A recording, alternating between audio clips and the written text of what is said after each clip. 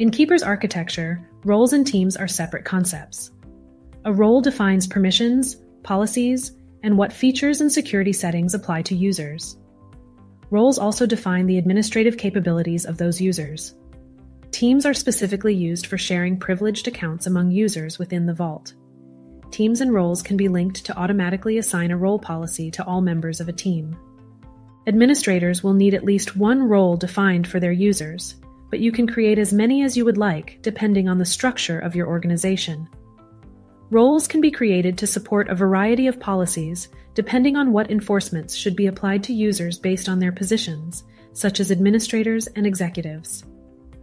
The root node will provision two default roles to start the Keeper Administrator role and the All Users role.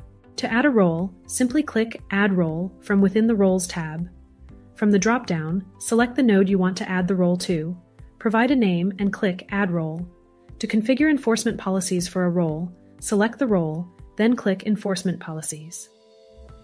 Next, a series of screens allow you to configure the enforcement policies that will be applied to the selected role.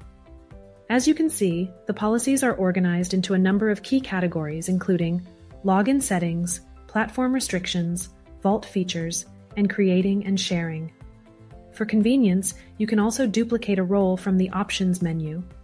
This will create a new role with the same enforcement policies. It's also important to note the use of delegated administration using administrative permissions. Administrative permissions grant rights to specific users in order to perform administrative functions within the admin console.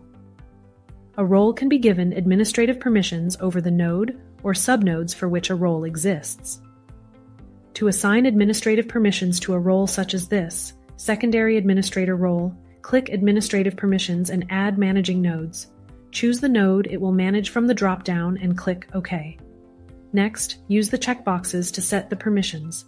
When Cascade Node Permissions is selected, the permissions will be applied to all subnodes of the parent node. Click Save to finish.